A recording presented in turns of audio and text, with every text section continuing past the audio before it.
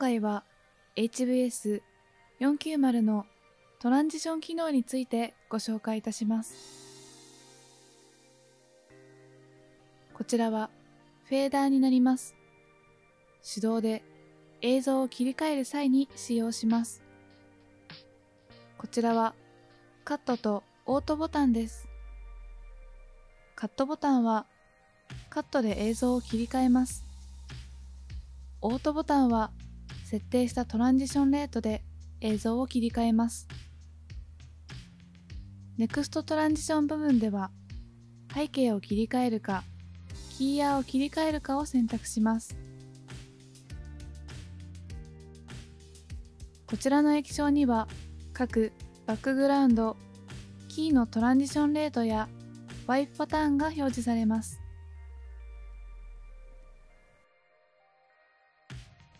ディレクションの2つのボタンはトランジションの方向を切り替える際に使用します。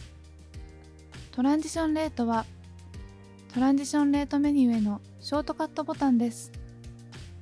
パターンはワイプパターン選択メニューへのショートカットボタンです。次にカットとミックスを使った映像の切り替えを行います。ネクストトランジション部分のバックグラウンドを押すと背景の切り替えが可能になります。カットボタンを押すとカットで映像が切り替わります。ネクストトランジション部分のキー1を押すと、キーや1の切り替えが可能になります。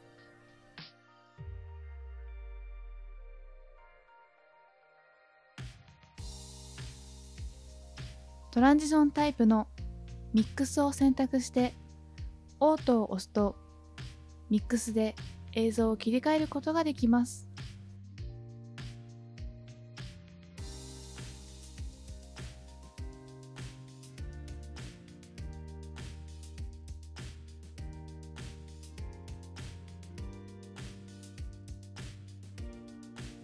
最後に、ワイプトランジションの設定を行います。ネクストトランジションをバックグラウンドに設定します。トランジションタイプのワイプをダブルタップし、ワイプトランジションの設定を開きます。トランジションナンバーをタップし、任意のワイプパターンを選択します。今回は000を使用します。オートボタンを押すと先ほど設定したワイプが実行されます。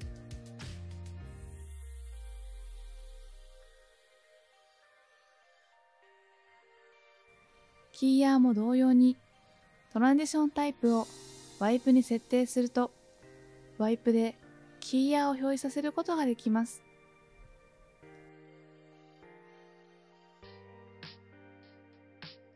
フェーダーでの操作も可能です。